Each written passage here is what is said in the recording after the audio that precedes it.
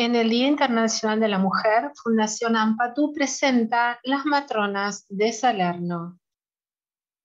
Ginecólogas y obstetras medievales.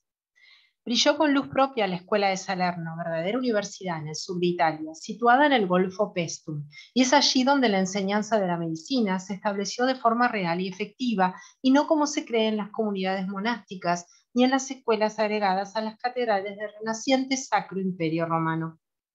En la Edad Media el ejercicio de la medicina estaba vedado para la mujer, salvo la práctica de la obstetricia y los cuidados al niño en sus primeros meses, que estaban casi exclusivamente en manos femeninas.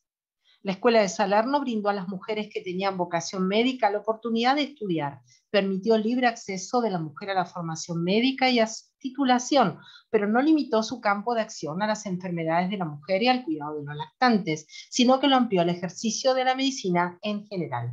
Mujeres y hombres estudiaban a la par y fue fundada, se calcula ya por el año 529. Y lo más difícil de creer para la época es el desempeño como docentes de cinco mujeres médicas, la judía Rebeca Warna,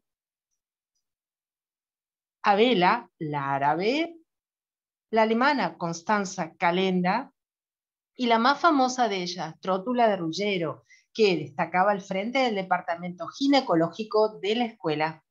Fue creadora de simples y curiosas recetas de cosmética femenina que incluían una crema para eliminar las arrugas y una fórmula de lápiz labial con miel, jugo de remolacha, calabaza y agua de rosas, una infusión de corteza de nogal para limpiar los dientes y conservarlos sanos y blancos, y dio recomendaciones para el cuidado del cabello y opciones para teñirlo y lucirlo mejor.